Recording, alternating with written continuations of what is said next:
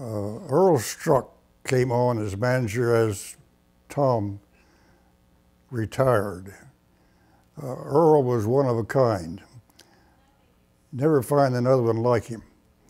He liked people too, and people liked him. Uh, there was never uh, any anything that uh, caused you to wonder why he was there. He was uh, he was a lobbyist there for so many years, and the uh, state lobbyists thought enough of him to make him the what they call him the Speaker of the House of the lobbyists, whatever their title was.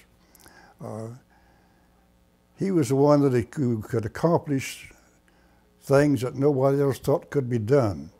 He went about it in a way that nobody even got mad at him because they did things they didn't like.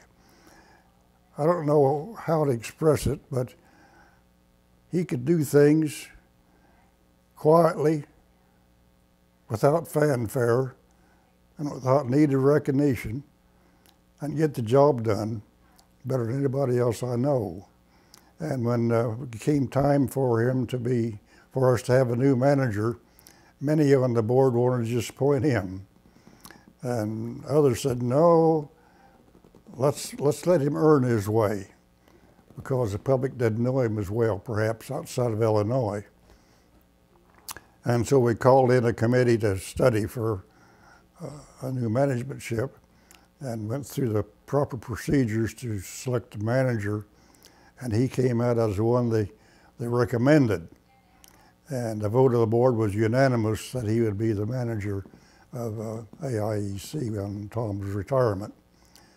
And uh, I, I served with as a director of AIEC for six months with him as manager, but I found him to be most uh, uh, complete in everything that he wanted to do. And he knew who to help, who to call on for the right help. And uh, he could get the job done without being in the way.